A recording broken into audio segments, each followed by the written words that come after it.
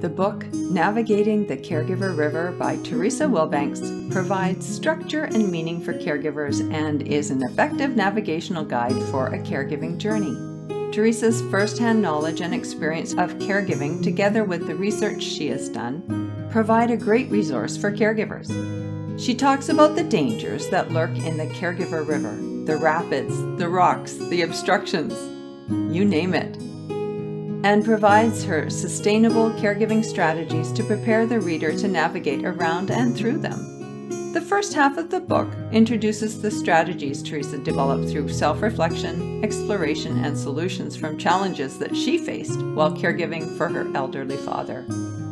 Teresa shows how the strategies work together and provides opportunity for the reader to reflect, journal, and practice these strategies on their own caregiving journey the second half of the book speaks to the practical considerations of caregiving with examples, such as dealing with your care recipient's transition from driving to no longer being safe or able to drive, and managing medications effectively when your loved one is no longer able to safely do this for themselves. The care recipient, or elder adult, is not overlooked by Theresa as she respectfully considers how they may be feeling throughout their losses and the adaptations necessary because of the changes they are experiencing, all while making sure these sustainable caregiving strategies are presented with the caregiver in mind to help them maintain or reclaim their own well being as they navigate the waters of caregiving.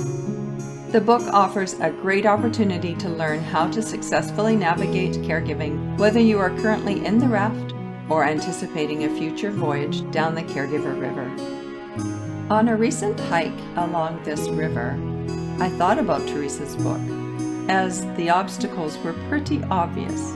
There was the boulder so close to the water that was flowing underneath. There were the rapids, the waterfalls. So I thought about the caregiver who is about to step into the waters of caregiving and how beneficial it is for them to have this tool to help them navigate their journey down the Caregiver River.